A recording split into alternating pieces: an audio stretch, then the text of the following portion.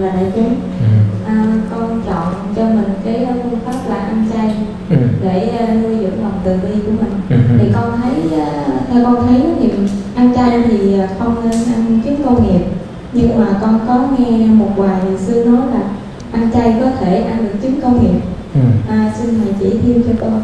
A Di Đà Phật. Chứ huynh đệ nào đồng ý ăn chay được ăn trứng công nghiệp trên tay?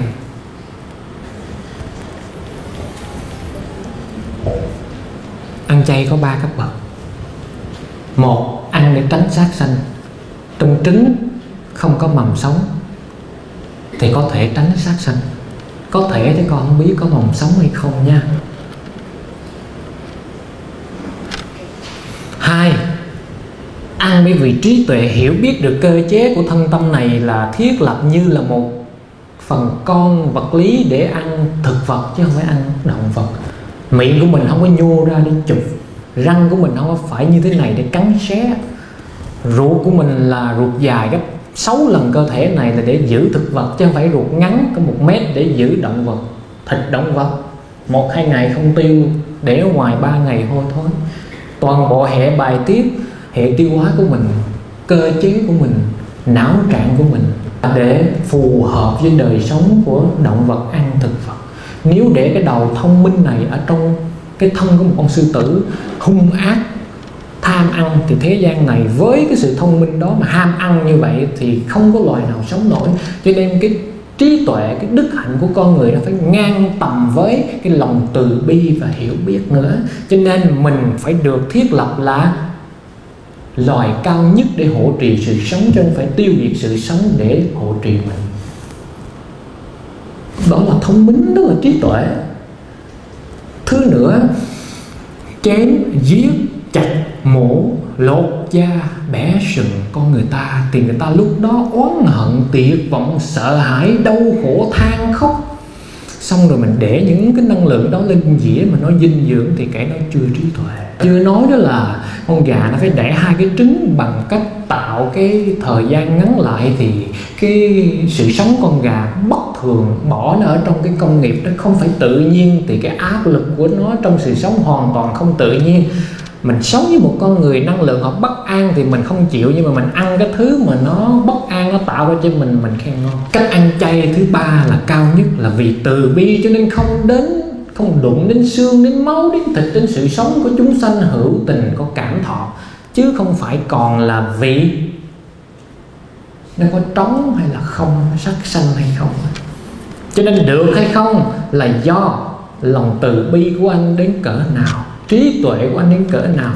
Còn nếu mà anh phán xét nhân quả, thì chuyện của anh anh lo, anh đừng có lo chuyện của thiên hạ trong khi anh chưa có thần thông và hiểu được hết nghiệp của chúng sanh, anh đừng có nói ăn trứng mà không có tội. Dù nó là loại trứng gì, bởi vì nó là nghĩa không ăn mạng. Tức có hai, ba nghĩa mạng sống mình giết là một ha. Còn nữa là cái gì mà đụng tới mạng cũng không ăn con bọ, con con gà nó lấy cái gì nó đẻ ra cái trứng vậy. Nó lấy xương lấy máu, lấy thịt của nó. Mình ăn thịt của chúng sanh, tức là mình không muốn ăn thịt chúng sanh thôi, chứ không phải là mình nói có tội hay không có tội đây nữa. Lòng từ của mình không muốn lấy thịt của sự sống khác để đắp đổi sự sống này. Bởi vì mình đủ thông minh, mình biết rằng sự sống này là để che chở sự sống khác, chứ không phải để bóc lột, ăn hiếp sự sống khác thì mình lấy cái trí tuệ mình có, mình phát triển lên thì ngày càng mình hướng thượng tâm linh hướng phát triển. Còn nếu mà mình lấy cái trí tuệ mình ngang tầm với cái chuyện là không có sát hại thôi á, thì mình sao phát triển được tâm linh? Như vậy là ăn trứng có tội hay không? Mình tự biết tội không nhất định phải giết họ, phải hại họ.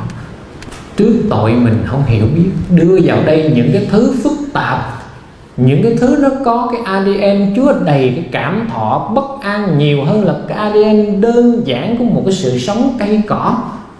Trong đó nó có cả cái đêm ngày thời gian bất thường, có cả cái áp lực, máu mũ xương, huyết của con vật. Nó có cả cái sự sợ hãi, lo lắng những cái năng lượng ấy nó vào cơ thể, nó biến thành độc tố. Mình không đủ thông minh mình đưa vào những thứ mình nghĩ nó dinh dưỡng trong khi nó là độc tố, thì mình có tội với mình trước. Rồi chưa đâu nha, nó là loài noãn xanh nó vẫn có thể sinh con đẻ cái được mà không cần cái được gọi là mầm sống của con. Con trống nữa có nhiều cái loại nó xanh mà nó không cần phải hai thứ. Ví dụ như hoa xanh đây là Phật nói, một trong bốn thứ ta, nếu một kẻ phàm phu sẽ không bao giờ thấu rõ. Cảnh thiền, tâm của chúng sanh, nghiệp của chúng sanh và trí tuệ của bậc a la hán nếu phàm phu muốn để tâm vô nghiên cứu sẽ bị điên vì không bao giờ thấu rõ được thì nghiệp của chúng sanh trùng trùng duyên khởi mình không bao giờ thấy được. Đừng phán xét một hành động của một ai đó phàm phu mà mình cũng phàm phu mà cho nó có tội hay không thì mình mang tội. À, đây là nó nghiêm túc mình không biết mình vui lòng mình nói mình không biết. Và mình phân tích để họ có cái trí tuệ họ hiểu. Và tự họ sẽ chọn lựa cái nhân quả của họ xà thú câu hỏi của con.